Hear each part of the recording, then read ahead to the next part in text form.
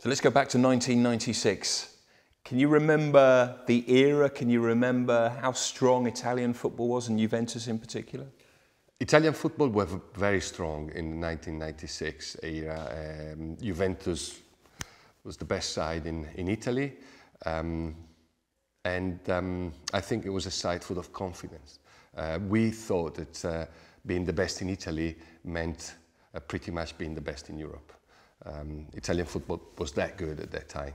Um, and um, uh, Juventus had not won the Champions League for uh, you know 12 years, and the last time was in Heysel. So it was a very dramatic final.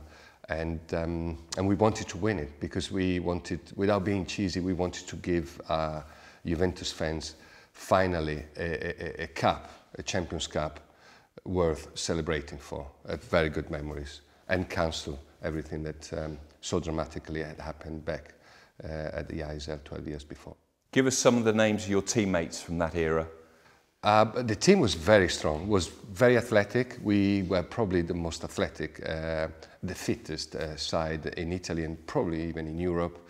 Um, we had a fantastic uh, goalkeeper in, uh, in Peruzzi, probably not as good as Buffon, but a great guy, a great goalkeeper. Um, somebody that you want to go to war with because you know had that kind of attitude. And then a very strong back four with Vierchowod, uh, Ciro Ferrara, both um, with many mm, presences in the national team. Um, in the midfield, we had Didier Deschamps, uh, was now managing uh, France, obviously. Uh, Paulo Sousa uh, was managing Basel, and Antonio Conte was obviously managing Italy. So we had very, we had a very strong uh, midfield. And up front, we played in a very unique way with three strikers um, uh, myself, Del Piero, and Ravanelli, and um, we were sort of so unselfish in the way we were playing the game. And uh, we were sort of running for the team, scoring goals. Uh, um, we were the first defenders when we lost the ball. And um, so we had a very unique style. Uh, and we were a team full of confidence. And of course, the icing, the icing on the cake was the manager, Marcello Lippi an absolute messiah for myself and for the rest of the team. Um, so it was really the leader of a group of leaders. Why was he so special? It was special because he had um, simple but very effective um, tactical uh, principles. He was very good at communicating them and um, it was fantastic in giving us confidence. Um, being with Marcello made me feel that I was the best striker in the world and I I think, I'm sure that he felt the same for my teammates. Um, so I think that giving confidence, being able to manage a group of um, strong personalities were Marcello's best um, qualities. You got to the final. The final is in Rome. Bear in mind you're from Turin. Is that a good or a bad thing? The final was in Rome and it was a very good thing because we knew that we had um, the stadium 75% full of Juventus fans. Um, it was a little bit more pressure than when you play in neutral ground because you know you're playing at home, so you've got support, but at the same time, uh, there's a bit of pressure because you're the favourite, obviously. And, um, and for me, that match uh, was quite similar to the match I played with Sampdoria at Wembley four years before, and you know against Barcelona in the final of the, champion, uh, the Champions Cup, because I knew that that was going to be my final game with Juventus, exactly the same thing I had when I played with Sampdoria, and then I left to go to Juventus. I knew I was going to come to Chelsea. Um, so um, probably the last chance for me to play in the Champions League final, again, final game with my club in Rome. I was desperate to win, so I put a lot of pressure on my shoulders. So it was by far the most complicated game for me to prepare mentally before the kickoff. Yeah, what was the build-up like in those days? Obviously, it's massive now. Was it still huge? It was a big build-up. Uh, at least in Italy, it was. We were playing in Rome. Um, we were back in the final after so many years with a chance to to win it. So we went to uh, a place, a training camp, a very secluded training ground uh, in Rome four or five days before the final. And we spent the last four days in, in Rome just preparing, uh, trying to concentrate, uh, working out a few, a few tactical um, things that we wanted to then put on the pitch. And, uh, And um, it was the usual, usual preparation for an Italian team, away from all the troubles, away from all the distractions, focus on the game and get ready.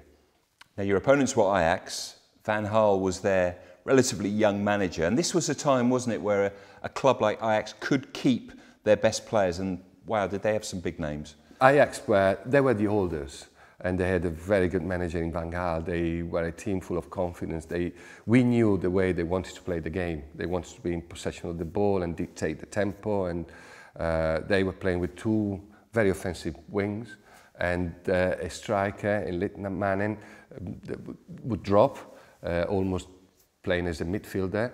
Uh, they wanted to build the game, the play from the back, uh, man-on-man marking in midfield. So a very sort of uh, a very unique side to play against. Uh, um, but we knew we had a chance. Um, we knew that they were strong, and we respected them. But we knew we had a chance. And you got off to a great start, didn't you? Someone who we came to know in the Premier League, Ravanelli, scoring your early goal.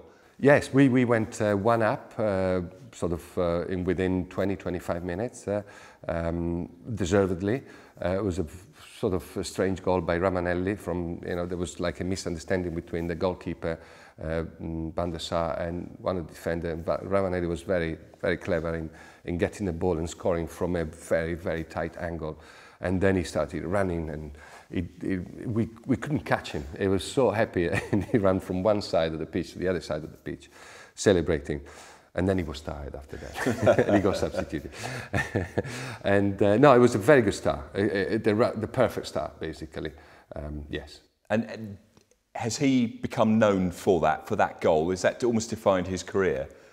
I think Ravanelli has done many, many things in his career. Obviously, that is probably the pinnacle of his career because when you play and score in the Champions League final, uh, I think it's the only Champions League final he played, and it's the last Champions League final that Juventus um, has won. So yes, Ravanelli has become immortal after scoring that goal. Tell us about the equaliser.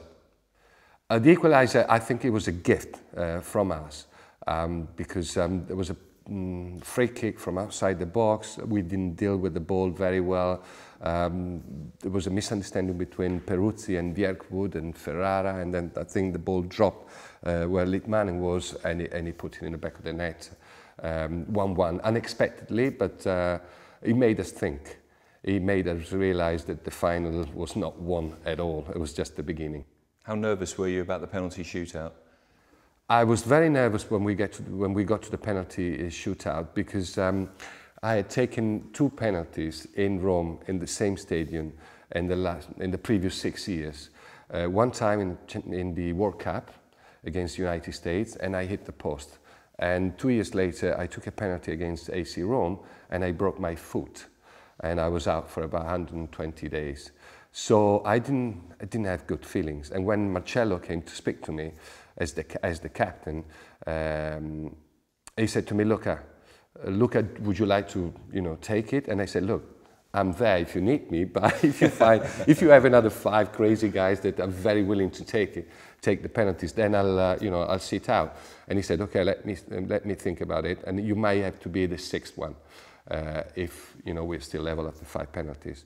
And I said, okay. And I remember Marcello saying that uh, in that, that night, as well as um, when, when he managed Italy in Berlin, 2006 World Cup final, he knew um, we were going to win because everybody seemed to wanted to take the penalty. There was nobody hiding, nobody running away pretending to have cramps or, or, or feeling tired. So he felt, when I looked around and I saw players that wanted to take a penalty in such an important and difficult time, I knew we were going to win, and we did.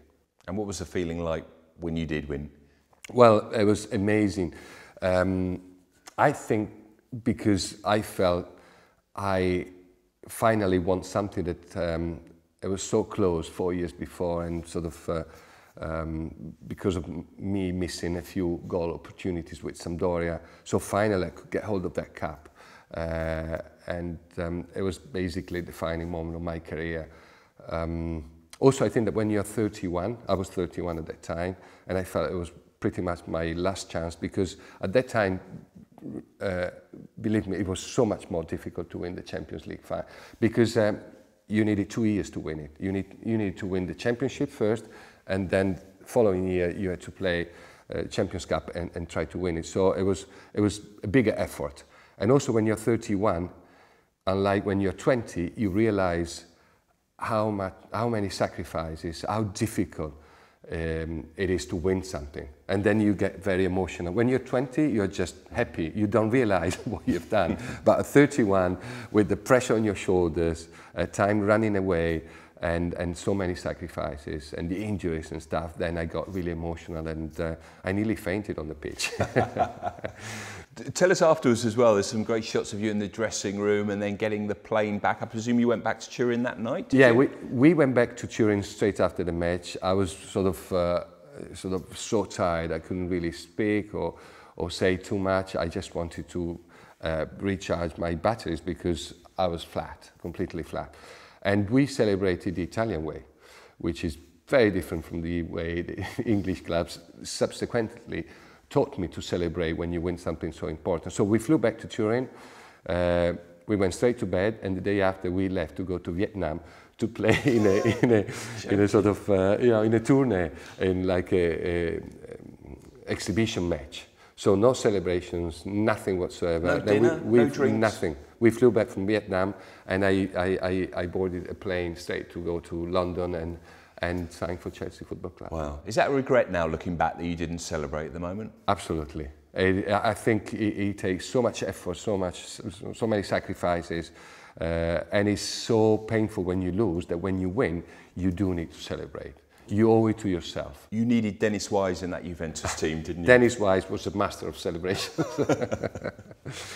so you left for Chelsea, but but Juve's success continued, didn't it? And some more big names came in. That that really was a golden period for Juventus. It was a fantastic period for Juventus. Uh, Juventus was a great club um, with great players. I think that we were the ones that we were the players that basically, together with Marcello Lippi, the manager, that sort of uh, built the foundation for a fantastic um, future of the club. And the club got to the final three more times in the mm, sort of uh, following six or seven years. So it was the best club in Europe. Unfortunately, they didn't manage to win any of the other three finals, but uh, it was a club that was competing for the top spot in Europe year uh, after year.